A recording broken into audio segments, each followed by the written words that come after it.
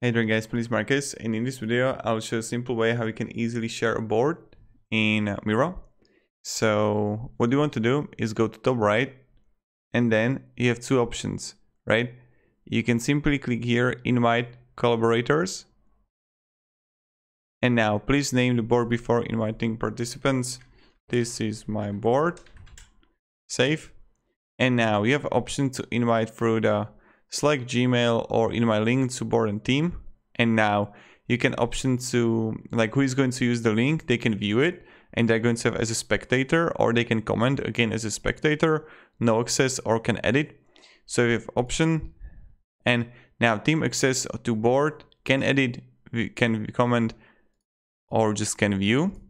And anyone with the link, no access or can view. So you can simply choose which one you want. I'm going to add here my Gmail account. Mm.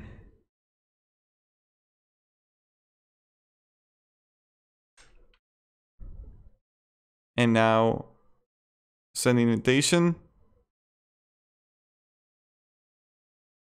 And now you can set the board start view for newly invited members here. Like this, done. Okay, and now I will go to my Gmail account. I hope it just came by and I hope I wrote correctly the email.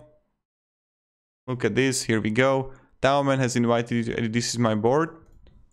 Accept the invitation and then I have to sign up and I'm going to be there. So this is how you can simply share a board in Miro. Thank you very much guys for watching. If you can have any questions, ask me down in the comments. And have a great day and goodbye. See ya.